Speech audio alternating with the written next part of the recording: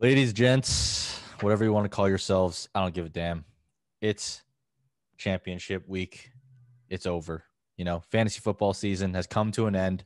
All the work we put in in the off season hopefully was fruitful for you. Hopefully, we led you to the promised land. If we didn't, we apologize. We tried our best, even though our takes stink.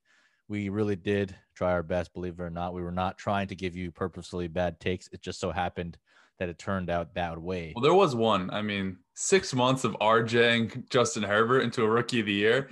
kind of a bad take on our part, but in the end, it kind of worked out for me. So I'm all right with that. Yeah, it worked out for Noah and his uh, Chargers fandom. But man, it was a crazy, crazy week. I mean, this was, you know, I I, I want to say like we don't say it every year, maybe we do, but this was truly one of the craziest championship weeks that I have ever experienced personally, just in terms of the swings and ups and downs and like you know, we watched football on Friday, and I had I tweeted out Kamara put fucking fantasy teams in the body bag, and then Sunday rolls, Saturday rolls around, right, and we got uh, Tom Brady and Mike Evans bringing people back from the dead, right, and then we got Jeff Wilson, uh, and, and later on bringing people back from the dead, and then Sunday comes around, we got the second coming of David Johnson putting people over top. We got Brandin Cooks, all the all the has-beens that we thought were washed came back out of the fucking woodworks to carry people to the promised land.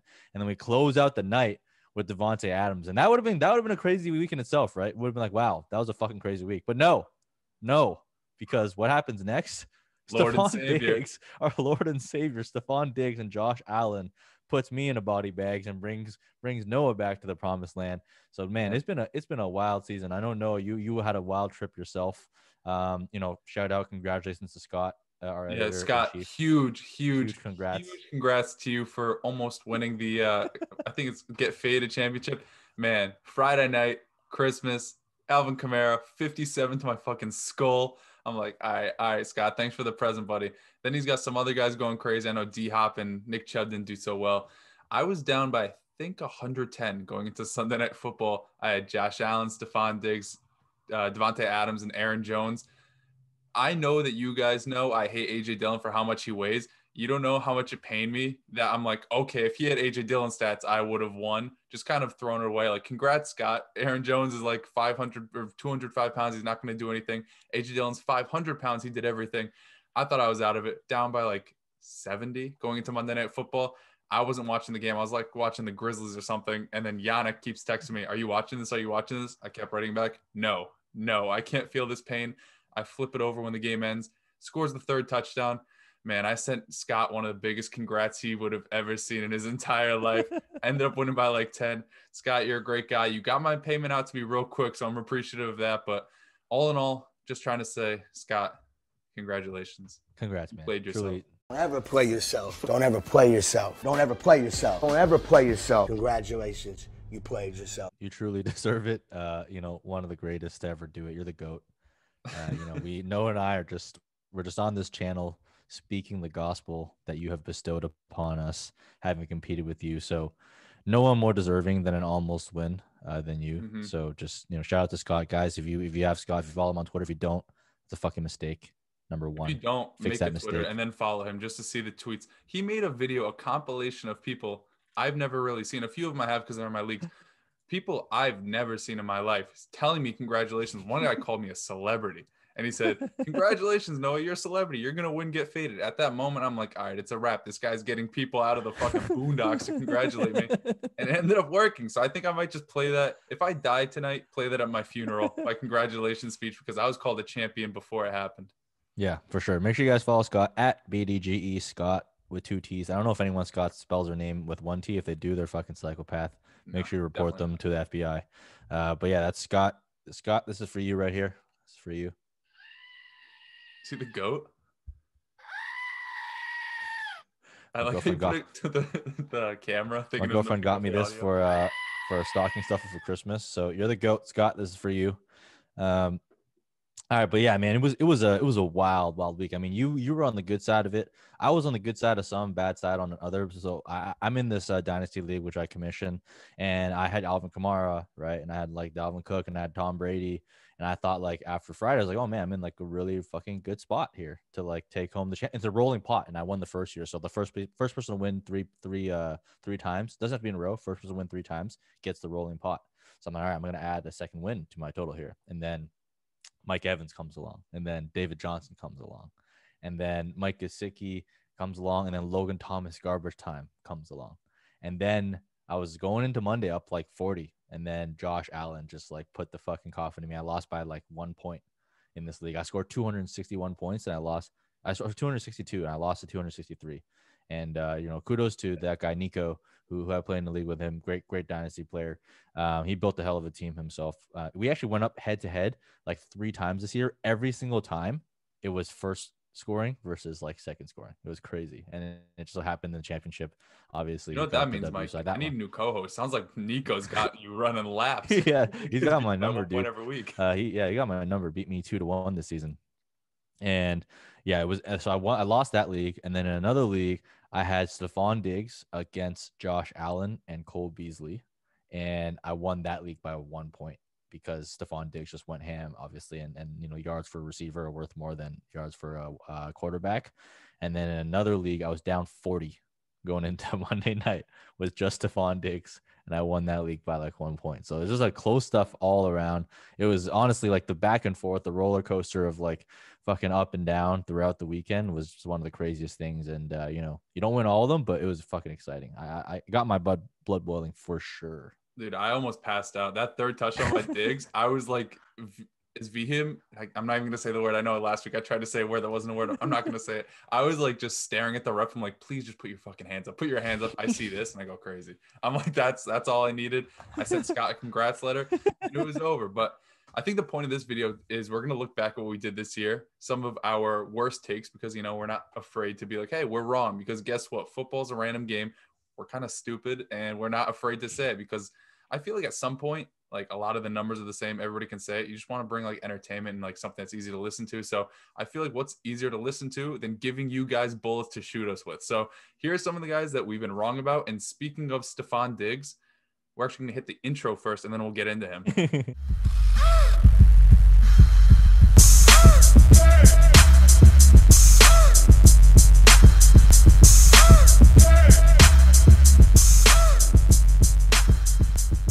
All right, so with Stefon Diggs, it kind of falls into the same bucket as Diggs, even DeAndre Hopkins, Brandin Cooks, and also Robbie Anderson. The narrative of receivers changing teams in the offseason, playing poorly because they're in a new offense with a new coach and a new quarterback. The issue is, and I haven't really looked into the numbers too much, a lot of the charts and shit that I see on Twitter and people do it, you see a few names on there, one of which being Kelvin Benjamin.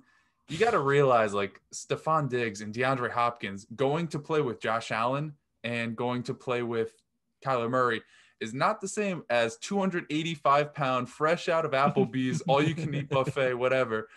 Kelvin Benjamin catching passes from a was it even Josh Allen there, like a young Josh Allen who wasn't accurate, who we've seen be good with like smaller receivers. So I think I actually wasn't like too too low on either one of those guys because I was kind of looking into the numbers and I think Nick brought up in a video and kind of changed my perspective too. He's like, well, Diggs the one year he got a lot of targets, he basically produced as much as he did the next year where he didn't get as many targets because his efficiency and volume kind of balanced out. I'm like, well, he's going to be the one there. We saw John Brown the year prior kind of show out there, so we you can kind of figure a guy of his talent with Josh Allen progressing, he's going to do better. But I think just as a whole, we kind of have to change our outlook on things like that and take it into perspective. And I remember last year, one of the first videos we did. It was the work that you did on the red zone and the goal line touches. And you brought up a good point. It's like when you compare people to the average, it's not really a fair comparison. When you compare Aaron Jones's goal line efficiency to Alfred fucking Blue, like obviously you're gonna think he's gonna regress when one guy's waiting tables and the other one's in the NFL and the best offense in the league. So I think you have to take everything into context when we see these charts getting thrown around like, oh, this guy struggled because he went this offense to this offense. Golden Tate went to Philly middle of the year and had a pretty decent season. Amari Cooper went to the Dallas Cowboys and had a great season. They're two pretty good receivers. I think that we learned this year that a guy like DeAndre Hopkins, a guy like Diggs, a guy like even Robbie Anderson to a lesser extent going to play with his old college coach. They're going to have a path to touches. They're going to have a role. And I think this offseason with Chris Godwin, Allen Robinson, Kenny Golladay, I think there's a few other free agents up in the air, even at the receiver position. If they land in a good spot, if any of them go to Houston, even like a Will Fuller, if he goes somewhere else, I'm not going to shy away because I know the talent's there and they're probably going to land in a spot that wants to use them as either like a 1A or a 1B because we've seen them do it before. Yeah, I did. Uh, big fat L for the wide receivers transitioning teams. And the, the funny thing though is, uh, like, th- like I said, I had Diggs on like three of my championship teams last night, and like he got me the W. So it's like even though I was lower on Diggs than I should have been, it still like worked out because it seemed like everyone else was even lower than I was. I think it's uh, because people were afraid to sell him too. Like you probably didn't want to sell him for the price people were willing to pay for him because you knew. I was never a seller. I was never a seller. I just wasn't sure if I was a drafter or a mm-hmm. buyer. Mm-hmm. Uh, but I pivoted in season to buy him on a couple teams. Uh, one of them led me to the championships, obviously, so that was totally worth it. But yeah, I think it, it definitely we got to pay more attention to where they land. The other problem with Diggs though is like I was not high on Josh Allen, which is another big fat L in my loss column for this season. Uh, like this type of improvement, frankly, is just like unprecedented. That like most guys kind of like just rubber band between uh you know their their range of completion percentages like for their career what they show early on is very indicative what they what they're going to do later later on in their career and Josh Allen jumping from like the 50s to like the mid to high 60s and playing like the way that he is is just is just incredible. So did not really foresee that one coming, and then just obviously totally underrated Diggs on that move. But yeah, like you said, I mean, there's a lot of elite guys coming up for free agency this year. You know, Chris Godwin, wherever he goes, I'm barring like even the worst teams, like if he goes to like you know the jack like Jags or like Jets, like they're gonna get a top end quarterback as well. So it's like I'm, I'm I think I'm gonna be a buyer on Chris Godwin no matter where he goes. Uh, Kenny Golladay, just another great talent. Uh, unsure of where he's going, but like if any of these guys land on like Green Bay, like you're gonna be all in, right? Will Fuller, Kenny mm-hmm. All these guys landing on Green Bay is gonna be good. Even those are Davante Adams there. Aaron Rodgers obviously is someone that can produce like two top end uh, wide receiver ones. So that's somewhere you want to be. But yeah, man, I mean, elite wide receivers going to a good team with a good fit. That's the key. I don't know if I'm going to be buying every single person because like OBJ was an elite wide receiver. He was the best of the best, and Baker Mayfield was coming off a historic rookie season where he like set set all the rookie records, right? So that I think that's one where like that left a really bad taste in people's mouths. Was like, hey, this is an elite guy that went somewhere and just totally fucking fizzled out. Whether it's because of injuries, fit, whatever, whatever like you want to say, it just like wasn't really great. So I think we're gonna really need to look, study, you know, what the fit is in terms of like who these players are. Like Chris Godwin, Kenny Golladay is a jump ball specialist, right?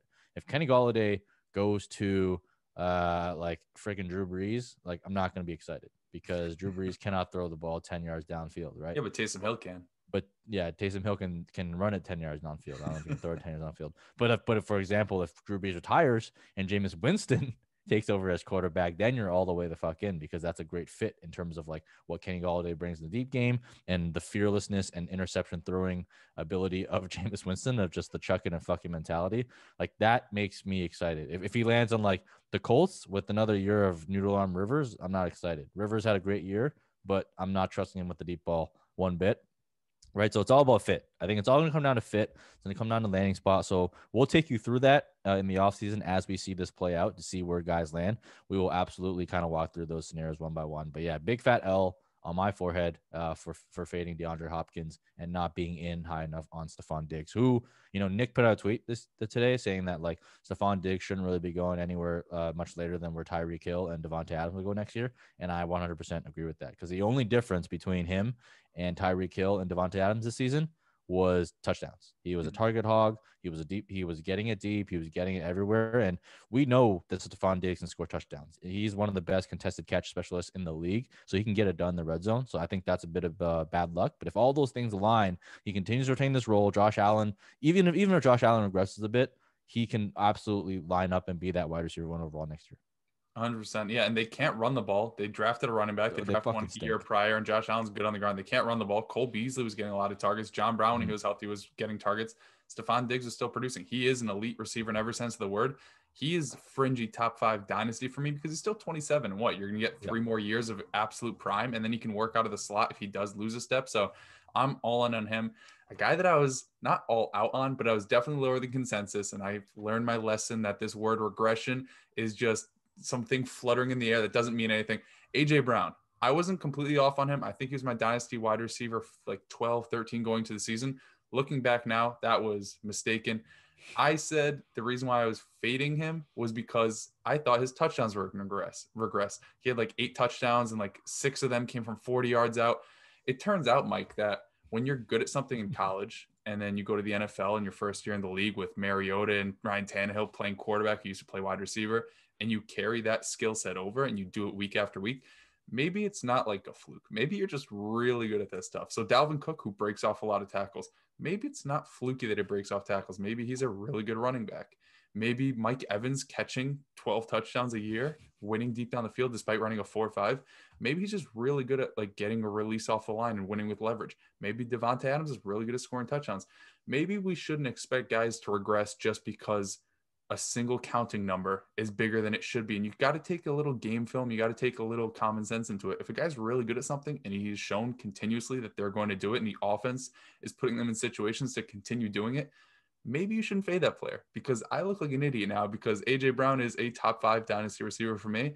We're heading into the offseason. I'm like, is he a wide receiver one? Yes, Noah in the past. He is a wide receiver one. He is every sense of the word a wide receiver one. And I think the same could be said for DK Metcalf, we were also both a little bit uh, lower on than consensus because we didn't think he could repeat it. Same with like Terry McLaurin because the analytical profile. It's like sometimes you got to throw away your preconceived notions about things and be like, okay, this guy's really good and he's going to continue to be really good because he's really good at a really young age. Yeah, a hundred percent. I mean, it's Man, I mean, AJ Brown. I remember when we had the first conversation. Like, I was kind of on your side, and I was like, "Hey, like this, this guy is. There's no way he's gonna kind of repeat this type of like YAC ability, this type of touchdown, this type of per touch efficiency." But then, like, what kind of flipped it for me is when I started looking at like Tennessee Titans. I was like, "Hey, like this offense might regress TD wise, but they're also going to regress positively from like a passing game script. Like, they just can't keep running it that much. Like, and you saw like this this year they got into some tough game scripts and they they had to pass it out. I mean, in the championship finals, right? Like Derrick Henry only put up like ten points because they got blown out, and Ryan Tannehill had to like basically chuck it a lot, which didn't work out.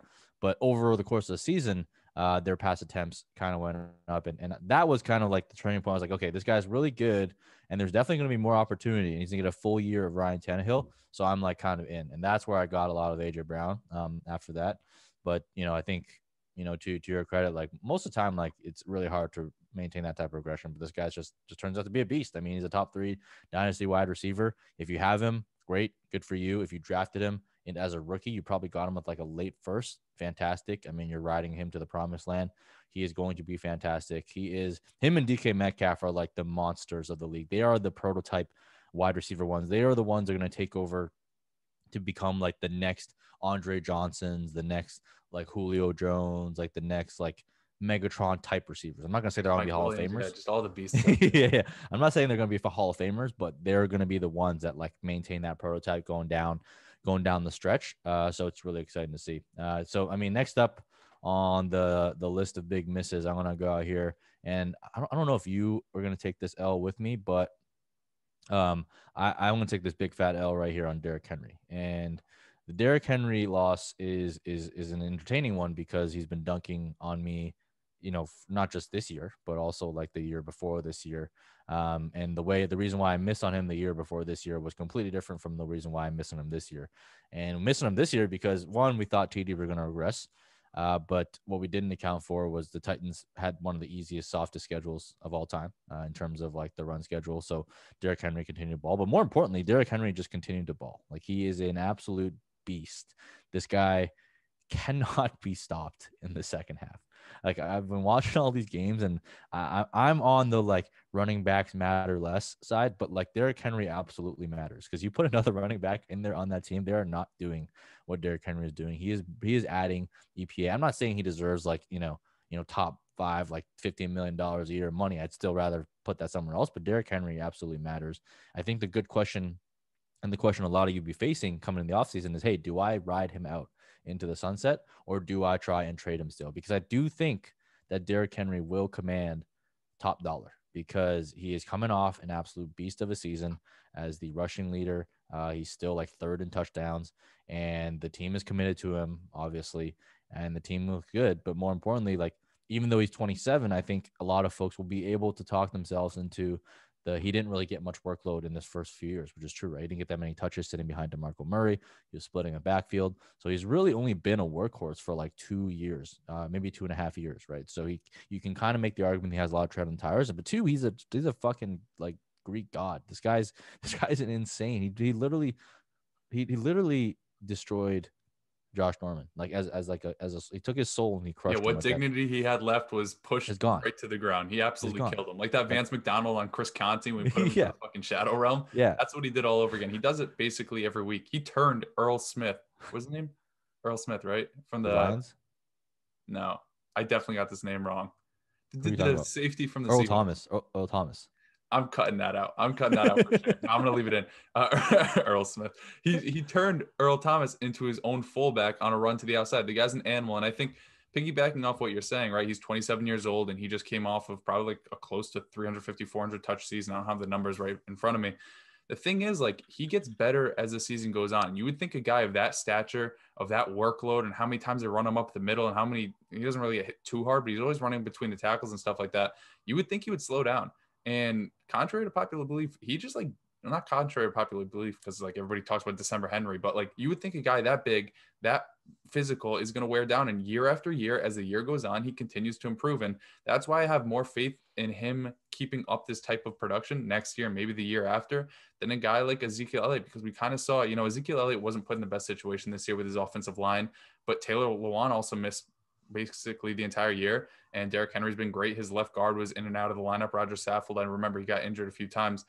I just think that the fact that he's shown that he can continue to produce for like 16 straight weeks these past two seasons, the fact that they're all in on Derrick Henry and this offense being as efficient as it is, he's something I'm going to hold on to. And Mike, you were asking if I was going to take the L on him this year you must have forgotten that he already killed me. So I can't take hell on a man that already murdered me. It's like Steve Buscemi when he like crosses off the guy on the list with his lipstick. Like I've been crossed off that list. I am gone. Now he's coming after you, Mike. You watch your ass. And you better hop back on his train this week because it's gonna be real dangerous for you. So uh, yeah, I'm not gonna take the L there because I kind of shied away from talking about Derrick Henry because I didn't want to get dunked on again. But now you know what it feels like. Now you know what it feels like to fade a top three running back that has done everything to prove that he's a top three running back.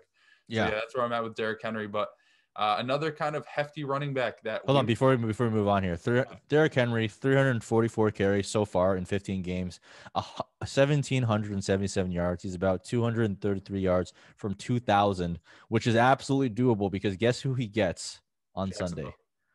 Texans, Houston Texans.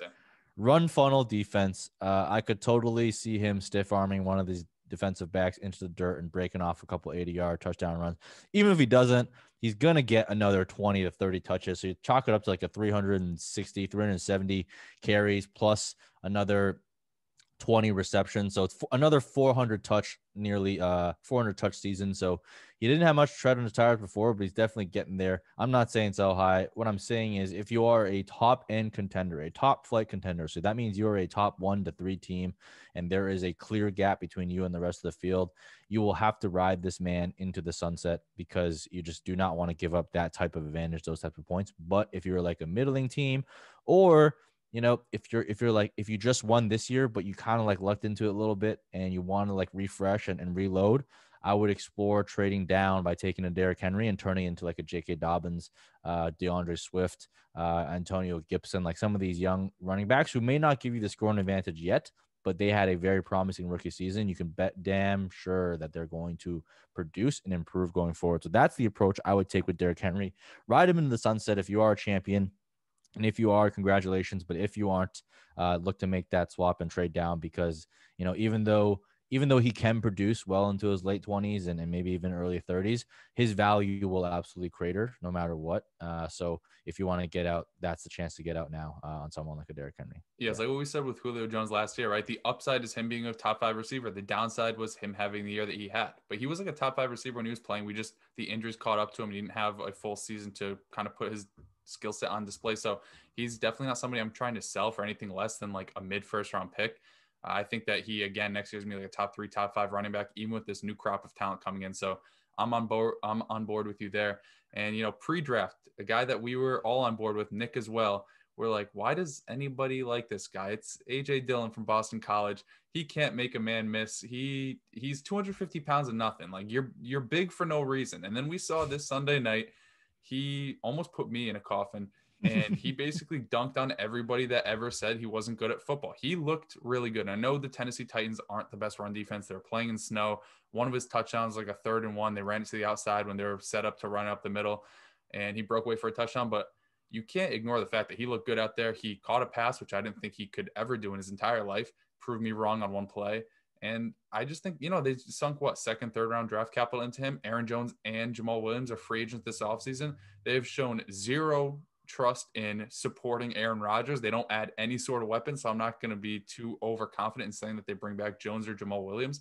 If AJ Dillon's the only guy in this offense, I mean, if I was the only run back in this offense, I could probably be like a top 15 guy because it's so good. And Aaron Rodgers, who also proved me wrong this year, looks absolutely amazing.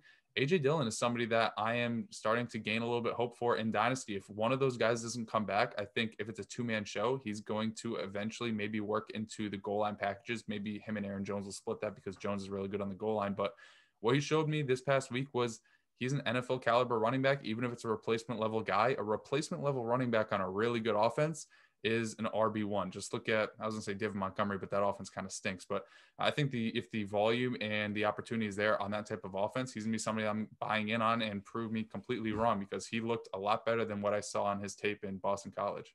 Yeah, he, uh, I don't know if I'm ready to take the full L on AJ Dillon, but uh, like I tweeted it yesterday, like I think he was very impressive. And, you know, some people responded and said, like, look, Tennessee Titans are buns. And I even said, like, Tennessee defense is buns. Like, they are, they're literally like one of the worst top, like, bottom three defense across the board at every single position. So, um, it, you got to take it with a little bit of grain of salt, but he looked good. I mean, I think the reason why I was kind of excited was because he was breaking tackles. He was, you know, running through tackles. He was, he wasn't elusive by any means. He's a, he's a lumbering, like, huge, massive guy, but he was running through tackles. Uh, he on that touchdown run he did get, he basically fought for like the last two yards by himself, extending. He was getting used in the receiving game. I wouldn't say he's uh he's great there yet, uh, but you know maybe he's capable.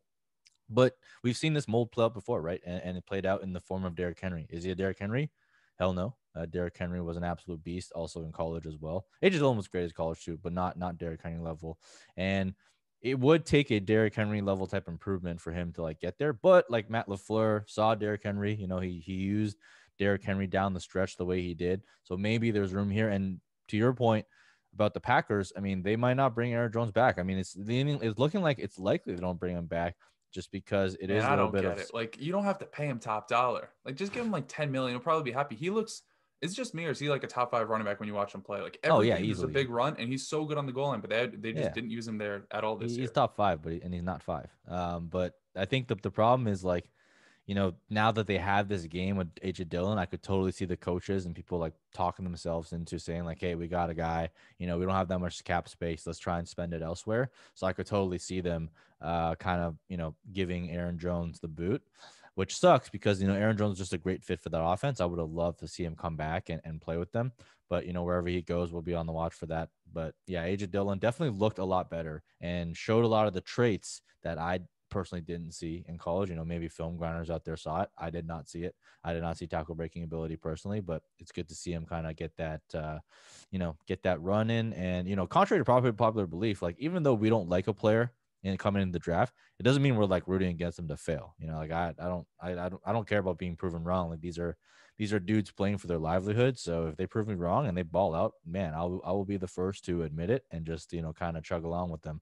But if AJ Dillon continues down the path, he could be a, he could be a nice value um, down the line, you know, but he will be like that first and second down grinder. I just I just really don't see him being a three down back. But those guys still have value. And if you're on a, as long as you're on a good team, right? You don't want to be a first and second down grinder on a shitty team because that means you're not going to be in there for the most of the time when it matters most. But if you're on a good team like the Packers who score a lot, who have a top end offensive line, right? They have like probably the best center in the league and one of the best uh, left left tackles in the league and uh, David like I always fucking slaughtered. Bakhtiari. I'll yeah, save David. you because you gave me the Earl Thomas. I'll save you the Bakhtiari. yeah, David Bakhtiari. Uh, so you know if those guys come back, AJ Dillon can absolutely be a fantasy asset. Mike, how about two other guys that we were completely wrong on? Two other rookies, and I feel like this is a mistake, not necessarily a mistake, but it was like something that I don't think is fixable based on both of our approaches in Brandon Aiyuk and Chase Claypool. Like yeah. I know you're more analytical, I'm more film based, and I did like Brandon Aiyuk a little bit. Um, I think what I could have done better with Brandon Aiyuk is like, okay, he went to a Shanahan offense. He's extremely versatile. Shanahan has shown with Deebo Samuel, George Kittle. He brought in Jerick McKinnon, who was a quarterback in college and catches passes out of the backfield. He wants to use versatile guys. Maybe him picking him in the first round, he's going to ca- carve out a role for him. Claypool as well. Like when I watched him play, I, I, was definitely a bigger fan of Aiyuk's film than Claypool's because Notre Dame just like seemed to not use him as a receiver, mm-hmm. um, it, or like put any of his skill set to an optimum level. I guess you could say like he wasn't he wasn't burning guys down the field. He was running like two yard slants, and then we see him go out in Pittsburgh and be an absolute animal. That four touchdown game was immaculate. He just went out there, he made a name for himself, and then from there on out, uh, like aside from these past few weeks, he has been a great receiver, basically a wide receiver two week in and week out. The only thing is, like, how many times are we going to see this opportunity where a guy has not so great of a profile? Uh, the draft capital is somewhat there. I know the athleticism was there for Claypool and the draft capital was there for Aiyuk, but like, are you really going to bet on hitting on these one hit wonders or like these one off guys year after year? Like, would you going back? Obviously, you'd probably take Brandon Aiyuk over Jalen Reagor, but that's hindsight is 2020, right? Jalen Reagor was athletic. He had the breakout age. I know he played in the Big 12 and there was that concern but Brandon Aiyuk played for Arizona State, which made N'Keal Harry look good. So I feel like looking back, it's easy to say, oh, I should have had this guy over this guy. But I think realistically, if I'm being honest, I'm probably going to make this type of mistake again. I might fade a guy like just off the top of my head. I don't know much about him, like Chris Olave. I might be higher on Seth Williams and Chris Olave. And then a year from now, I'll be looking back and being like, oh, Chris Olave went to an offense that's going to want to use him. Seth Williams can't separate. So uh, for me personally, I'm just gonna come out and say like I'll probably make this mistake again. I'm not gonna be afraid to make this mistake again because I'll just have a take and go with it. But uh, definitely wrong on both of those guys because they've proven to be, at least for me, top 24 dynasty receivers, and their versatility has really translated to the next level. And it was something that I didn't see out of Claypool at all in college. Yeah, I, these are one of those mistakes. I think Claypool specifically, that's a mistake I'm just gonna eat. Uh, you know, nine times out of ten because like the thing is like when you take an analytical approach to the game, like I do, you're not going to get 100% hits. Like that's just not going to happen. You're going to miss, and that that type of profile, like a senior that like didn't break out till his last year, that got draft capital, but like you know just basically crushed the underwear Olympics. Those types of guys are guys I'm going to miss on more often than not, and I'm okay with it because most of them miss. Like the, the most of them are not Chase Claypools, right? Most of them are like Miles Boykins. Like that. That's what that's the reality of what most of these guys turn out to be. So I'm kind of okay missing on a guy like that. And you know, it, it's not like it really hurt hurt me, right? Because you know the analytics still came out strong this year because CeeDee Lamb, Justin Jefferson um, are both guys who analytics really really love. Tee Higgins was someone I really loved because of the analytics. You know, even Laviska was someone that I liked because the analytics. So and and then we obviously we faded Henry Ruggs, right? Because he was an analytical nightmare, and that was a huge fade right? And Jalen Reagor hasn't worked out yet. He's shown some flashes, still has a lot to go. Um, I don't think I'm going to be um, totally writing him off just yet, but definitely, you know, the right move was to take someone like Brandon Aiyuk. And I think that's one area where I can probably take a little bit of a learning point away is, you know, his, if you dig into his breakout age, uh, it's a little bit later because he actually played for JUCO, so that's part of the reason why I later later on came around, came around a bit on him, and I did rank him above of like Michael Pittman. Michael Pittman was another favorite that people love, right? It was a super athletic, big guy, senior, didn't break out to his to his last year, and he hasn't really worked out. So like for every Chase Claypool, there's like a couple other busts that I'm that I'm fading because I'm fading Chase Claypool. So I'm actually totally okay with that. But for Brandon Aiyuk, I think what we'll have to do is is try and make some adjustments for like people that come out of JUCO and, and see like what that looks like. I'm not gonna like adjust them into like the stratosphere of someone like a Jalen Reagor. Like if I see a Jalen Reagor versus Brandon Aiyuk, I'm going to make that mistake nine times out of ten every single time. But just given where how much like other film guys that I respected did like Brandon Aiyuk, uh, given how well the skill set he was fit with uh with Kyle Shanahan in terms of his usage, I think those are some insights we take away. But like you said, in the, the day, like I'm always going to be a more analytics focused driven approach. And these two guys aren't enough to actually shift that hit percentage for me to actually uh, move off of that. Yeah, and speaking of JUCO, it's like kind of a one-off topic. I was listening to a podcast. I think Mark Ingram and Cam Jordan do one, and they brought on Alvin Kamara, and I didn't really know about his story in high school or college. And this isn't like part of this video. I'm just bringing this up, but he was talking about how he was actually at Alabama, and they had so many running backs there mm-hmm. that he wanted to transfer. Nick Saban wouldn't let him transfer, So he was just basically an asshole the entire time he was there. Had to go to a JUCO so he could have like that gap year or whatever. And then he went to Tennessee and didn't really produce. But that kind of changed my perspective. I'm like, this guy was recruited and was going to play running back at Alabama. Didn't want to be there. Then he went to JUCO. Like you shouldn't just be like, oh, this guy went to JUCO. He's a bum. Like sometimes yeah, yeah. that's just how things work out for players. I know Hakeem Butler as well kind of had that because I don't really, really remember his full backstory, but I think he had like a tough upbringing. He had to go to JUCO before he went to college. So uh, not that you have to like look super in depth into these things, as you said, like you can't just over adjust because a guy went to JUCO, but sometimes there's good explanations for the route that these guys take. And if you go from a JUCO to producing at Arizona State to being a first round pick, maybe that does say something about your talent. So uh, that's definitely someone that we missed on. And another guy that we missed on, I brought up in the intro, and I'm kind of happy I missed on him because I hedged my bets.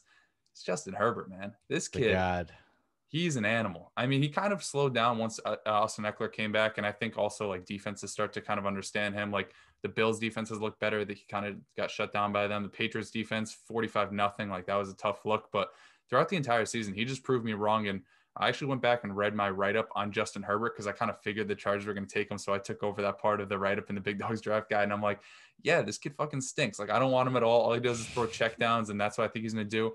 But I did say, like, I think he landed in objectively the best situation of all the first round quarterbacks because he does have Austin Ekeler, Hunter Henry, Keenan Allen in the short part of the game. And if that's what he's going to lean on, it's going to work out well.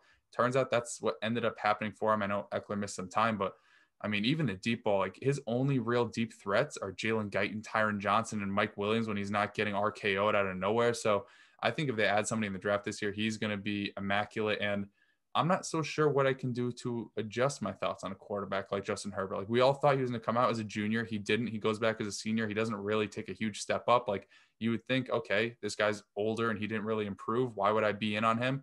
I don't know. I feel like quarterbacks, everybody says it's it's hard to evaluate the position. I'm not sure what I'm going to do in the future to adjust for this. And I feel like this quarterback class is like such a good quarterback class that you can't be too low on anybody. Like nobody's low on Trevor Lawrence. I guess Justin Fields, people are a little bit lower on, but he's probably going to show out in the college football playoff, which is going to readjust everything. Uh, Mac Jones and Zach Wilson, like they're looking great. Trey Lance didn't really play this year, but I feel like everybody's going to be high in quarterbacks this year, where like a Justin Herbert situation won't really play itself out. But in the future, if it does, I don't know. I think this is like a Claypool where you kind of just got to eat it because there's no rational way to justify why you were wrong on a guy like Herbert. Yeah, I mean, uh, my lesson learned here was I, I just like way too overweighted his senior year when he had already shown enough in his like in his younger seasons, like in his in his uh sophomore in his sophomore year, like Justin Herbert had already shown out. I mean, last year there was talk about him being the top pick overall, right over over a um Kyler, Kyler Murray. Murray. So so like yeah, yeah, I think I just like way way way too over indexed on like one bad year and didn't really understand that like you know what I learned later is that his his coaches were were awful. Uh, so his coaches are, so. at Oregon were awful. Like the talent he played with was awful. I went back and looked at his wide receivers, like all bums. Like none of them are really going to do. Who was that guy Mitchell? Uh, something Mitchell he played with. I remember reading something. His comp was Odell. I'm like, what the? Who's? Yeah, yeah. It was uh, Mitchell. what was his name? Something Mitchell. Yeah, he. Um, I almost called him Donovan Mitchell. I'm not going to mess up on another name this episode. yeah, he. uh he, he was oh fuck, what was he? Was it Juwan? That was like his junior year, right? Mitchell. Yeah, Mitchell Dillon Mitchell. Yeah. Yeah. So, um, but yeah, I totally, totally like wrote off his junior year and his like prior seasons where he was like really good and really efficient. Like in his sophomore year, he was incredibly efficient and looked like all the part of a franchise quarterback. And then also, I didn't pay enough. I just didn't pay enough attention to draft capital, man. He only went one pick after Tua. So, like realistically speaking, in superflex drafts, he really shouldn't fall that far behind Tua as well, uh, from that perspective. So, you know, draft capital does a lot of the talking for me uh, going forward in quarterbacks because it's just too hard to evaluate. I suck at evaluating it. I recognize that. Um, so I'm gonna do that, let that do the talking, and just really dig in more to like the situation in college to try and like identify why someone didn't do as well as they did. But also not penalize someone for staying an extra year and not doing as well as I would have hoped they, they did, right? So there's lots of reasons that someone stays and, you know, Justin Herbert, maybe he wanted to finish college, maybe he wanted to play, uh, is, is not as bad of a, is not as much of a death sentence uh, to quarterbacks as it is to like wide receivers in terms of like staying for a senior year and not declaring early. So I just I just think I need to recalibrate how I think about those various factors. And and then also I underplayed his athleticism, man. I mean, the underwear Olympics, people often overrate them, which is why I tend to underrate them. But you know, when he came to quarterbacks, like he went out and showed out like a really, really good performance, which kind of provided some insight into what he could do for you on the ground as an athletic running quarterback and a mobile quarterback. So, but having said all that, even having said all that, it would have been really hard to kind of peg Justin Herbert for the year that he had. Like literally one of the greatest rookie quarterback seasons of all time, right? And, and whenever you're talking about all time stats, those are hard to see and hard to come by. So technically, anyone that had Joe Burrow as the 101 missed on Justin Herbert because Justin Herbert came out and balled out and like left everyone in the dust, not just Tua, but also Joe Burrow. So, you know, I'm I'm happy because I'm sitting on a bunch of Justin Herbert rookie cards, which are gonna, you know, probably go up a lot in value once he gets announced as rookie of the year. Uh, but I'm unhappy because I did not get enough of him in Dynasty, and he is now basically unattainable in super flex leagues. Um, so yeah, unless you want to pay an arm and a leg, uh, you'd have to pay like you know Lamar Jackson plus. You'd probably have to pay like a Kyler Murray or something of that sort to kind of land a Justin Herbert, which means that to me he's basically untouchable. But yeah, one of the greatest misses of all time by myself. Do you think um, this um, is going to change your outlook for this upcoming draft? I know running back isn't too deep, but it's extremely top heavy with the top three of ETN, Najee Harris, and Javonte Williams. We all know wide receivers deep, and you brought up that you know Justin Herbert was going routinely 110, 111, 112. Yeah. If if there's a first round run wide or wide receiver quarterback this year, even if it's like Kyle Trask, if he goes whatever pick the 49ers are, are you going to let him fall out of the first round? Because realistically, on the 49ers, he has a good shot to eventually start his rookie year and if a quarterback wins a job, even if it's like Dwayne Haskins, you can flip it for a first as a rookie. Uh, even if Kyle Trask doesn't really do too well, like week one, week two, after he gets that job, you can flip him. So, uh, are you going to let a guy like Trask, because I feel like he's the lowest of like the elite tier of quarterbacks, uh, would you let him fall out of the first round if he lands in a spot like Washington or San Francisco, where they will realistically start him at some point this year? Are you going to take a wide receiver ahead of them, or are you just going to be like, no, we saw Herbert gain so much value that I'm not going to miss on that opportunity again. No, it, it, depends on like where they're getting drafted. Like even, even though I didn't like Herbert, I never let him fall past the 110 in any draft I was in, just because he had the top six pick draft capital. So like it really depends on where Kyle Trask goes. I don't see Kyle Trask going top 10. He'll like he might go in like the range of like a Jordan Love in the best case scenario. So like once you get out of the top 10, the hit rate like falls dramatically for those quarterbacks. So I'm I'm fine with letting him go. But like if if a quarterback goes in the top 10, they have to go in the first round of your rookie drafts. I don't, care who they are. If you don't like them, you have to take them because they're going to get a starting job, and the second they start, they're worth the first round pick. So like your your downside is your downside is very minimalized. So like with Justin Herbert, even though I didn't like him, like in drafts where I, where I had the 110 pick, I still took him.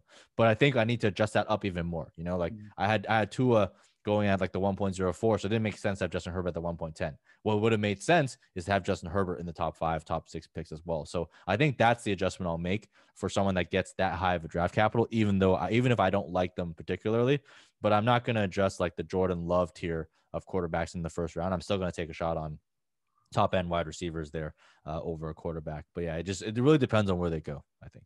Yeah, because I know you like Tua a lot more than Herbert. And ranking them back to back 104, 105, that's not you saying, I think Herbert is going to challenge Tua. It's like the value of the quarterback position is so high that if a guy has a realistic shot to win out the starting job, you have to take him that high to return a lot more value than you're going to get out of like maybe reaching for a Jerry Jeudy or even like a CeeDee Lamb.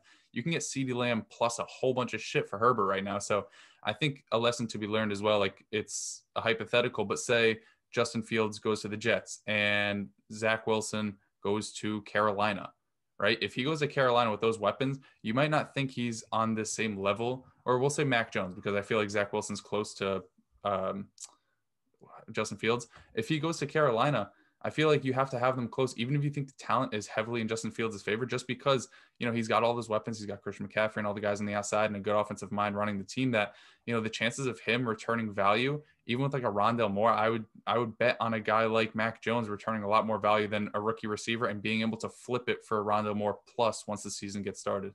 Yeah, yeah, for sure. I mean, this is going to be a crazy class of quarterbacks. People are already talking about it being the greatest quarterback class of all time. I don't know about that because there was the class with Dan Marino and and you know three other Hall of Famers. Uh, was it two or three? Three other Hall of Famers. They had Dan Marino. It had uh, uh, what's his name? Jim Kelly, right? And then it had uh, who went first overall in this? Oh yeah, John Elway. It's like three bona fide. I have no clue. Yeah, first ballot Hall of Famers. That that's probably still the best quarterback class of all time. But this one is going to be interesting because the people are talking about five to six quarterbacks in the first round of the NFL draft. So it's like 2017, right? With like Baker, Sam Darnold, Lamar Jackson, Josh Allen, Josh Rosen. Yeah, yeah, exactly. So very, very similar to that. And if if like guys like Zach Wilson and Mac Jones start flirting with like the top 10 to 15 picks, you're gonna have to pay attention to them and you're not gonna have to be able to let them out of the first round. What I will say is this Konami coder quarterbacks are ones I'm going to value higher. So like a Trey Lance, I'm gonna rank him ahead of a Mac Jones. Uh, Zach Wilson, not not a full Konami, but still like offers a little bit more on the running side. I'm gonna I'm gonna rank them a little bit ahead of like the more traditional pocket passing quarterbacks because like if you don't have Konami quarterback, you are at a significant disadvantage in today's NFL, just given how many of them there are. Um, yeah, so even that, being that's able to like thing. improvise too, because Herbert's not really running a lot, but he's scrambling yeah. and making plays out of the pocket. So I think athleticism is a huge factor in today's NFL. Just like Russell Wilson too, he's obviously a great quarterback, but a lot of his points come off of him just improvising and throwing it deeper, taking shots, and the defense falls apart. So I think you're completely right. Like those top four guys, the Trevor Lawrence, Fields, Mac, uh, Zach Wilson, and Trey Lance, they can all run a little bit, and I think that's going to help them a whole lot at the next level. Whereas Mac Jones and Kyle Trask are a little bit more it like be a little less mobile than those other guys. Yeah, hundred percent. So, but yeah, I mean the rule still applies. Like we even said it when we hated Justin Herbert. We're like, dude, we cannot, you cannot take him outside of the first round because he has too much draft capital. So, you know, lesson learned there. Never gonna fade Herbert the God ever again. I don't know if we'll ever see this type of ascension again, but you know, make sure you let draft capital do the speaking for you on quarterbacks because do not pretend to be like you're a quarterback whisperer. You are not one. I am definitely not one. I know that for damn sure. Uh, so I'm going to let draft capital do a lot of the talking for me on that front. Yeah, and I think that's all I have personally. Like Aaron Rodgers, I think like everybody was kind of wrong on Aaron Rodgers. Uh, Gardner Minshew, I had like an irrational love for him. I somebody DM'd me a tweet that I had. I said if he doesn't finish top 15, I'm getting a mullet. He ended up like quarterback 14 on a per game basis, so I saved myself from looking like a fucking piece of shit. So I I, I consider that a win on a per, per game basis. Zach Moss, we weren't high on him. I think the point to take away is if you're like fat and slow and you're on an offense that can't run the ball, just don't draft him. Uh, just going down the list of Clyde Edwards Helaire, like people think it was a flop, and it was because a lot of other rookie running backs look better than him. The guy was on pace for 1,350 yards from scrimmage. Only 21 running backs have done this since 2000. So basically, you get one running back a year to hit that mark. Only James Robinson has done it through week 16 to this point. So, for as much as of a disappointment as he is, he's still in the Chiefs offense. He's still young. He still has the ability to catch passes. I'm not going to take an L on that yet. And I think it provides a pretty good buy low opportunity on him. I know people are like, oh, Damien Williams is going to come back and be good. Damien Williams was also like kind of a workhorse on the Chiefs offense. It doesn't take too much for a workhorse on the Chiefs offense to look good. So I'm going to buy in on CEH if anybody is selling him as well. And then obviously, like you know Jalen Reagor. We don't. He, he looked good. So CH CH looked good. I don't I don't think it's a it's a bust. Um, and he got hurt obviously in the last, and then Le'Veon Bell came in as well. We didn't see that coming. Uh, but he's looked good. I mean, he's elusive. He's breaking tackles. He's not getting the work in the receiving game that everyone thought. What I will say though is, your boy held strong at JT 101 throughout the entire year. The entire year, every bit the 101 the entire year. So I think the lesson there is when you have two guys who both have draft capital, who both landed in, you know, objectively pretty good spots, um, don't let that sway it too much. But then again, like, you know, CH could have easily popped off as well, and we'd all be laughing. So I just think, like, you know, when you have guys in that tier, in the same tier, this is why I do tiers, right? It's like when guys are close, you got to have tiers and do the judgment. I know everyone's out there taking Jonathan Taylor victory laps these days, but I don't think you should give up on CH either. Uh, I'm a buyer in the offseason you know, if, if people bought on Dave Montgomery, you should absolutely be buying on CEH because I think, you know, his trajectory can be much better than what we saw with David Montgomery coming into the second year. So I think that's a, that's a great one. And yeah, Jalen Reagor, I, I'm like, I'm not buying anymore, but I'm also not like panic selling either because I kind of want to see what happens there. Um, and then the last one, you know, we were high on Jalen Hurts, so I'm gonna take the we're gonna take a small W in this in this long list of L's that we've shown you um, in, in Jalen Hurts and what he's been able to do, and showing that Konami code and showing that upside as a dynasty quarterback. So if you guys are still waiting on Carson Wentz to get his job back, uh, I mean, I'd, I'd, I'd punch that ticket in because I don't think it's happening. It, just despite what Doug Pederson, the idiot, you know, wants to say, this is Jalen Hurts uh, his team. He's going to develop. He's not a great passer yet. We saw that going up against Dallas this past week, but you know, stay patient with him. You know, if you're if you're in a super flex league, I have Jalen Hurts a couple super flex leagues, and I cannot tell you how happy I am because some of my quarterbacks are are flopping. So he's gonna really step into that role for me next year. And if you're trying to acquire him, um, I think you can still acquire him for a reasonable price, especially after that down game with Dallas. People are going to, you know, jump to the, hey, he can't throw, he can't pass, he's not going to last. What they don't know is like you're basing that off of history, and history is changing in terms of how the Guess NFL. who else isn't great at throwing and is almost an MVP candidate? Kyler Murray. Kyler Murray has yeah. not been accurate this year, and people yeah. are touting him as an MVP, or at least did so for the first like 12 weeks of the season. So obviously, he's not that caliber of thrower.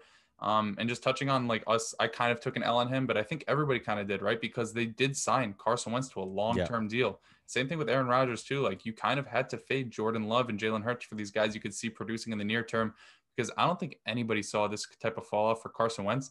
But nope. if you were one of the lucky ones and you really believed in Jalen Hurts and you thought Carson Wentz was a ginger fuck who had no confidence and you grabbed him the second round, you're laughing all the way to the bank because he's basically a top 12 dynasty quarterback right now, despite the struggles he showed against a mediocre Dallas Cowboys defense. So uh, big up to you on that one, Mike. You definitely had a lot more faith in Jalen Hurts than I did. Not to say I was like extremely low on him, but you held true and you have him in more spots than I do because I have absolutely zero Jalen Hurts because I had like first round picks and fourth round picks, nothing in the second.